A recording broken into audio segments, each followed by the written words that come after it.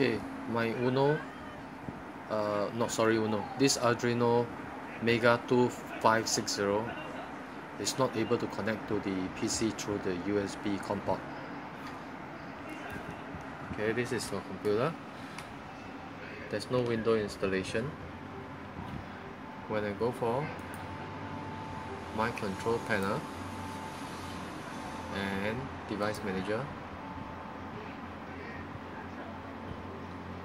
you see there's no COM detected here. Okay when I go to Arduino tools there's no serial port here.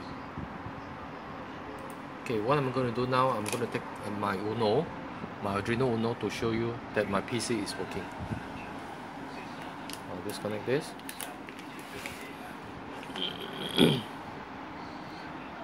give me a while.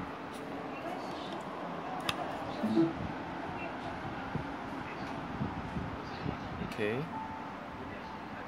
COM port Uno COM26 Arduino tools. And it's on COM26 so this proof my PC is working but not the Mega 250 uh, the Mega 2560 one more time.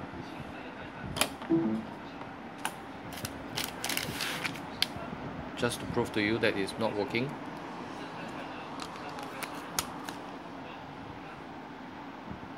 There's no connection of USB sound. And again it's not connected please help. Thank you